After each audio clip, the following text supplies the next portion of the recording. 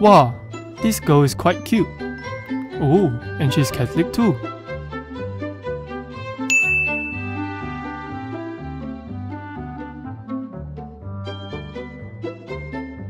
Um, hello, happy, uh, I mean, blessed Ash Wednesday. My name is John.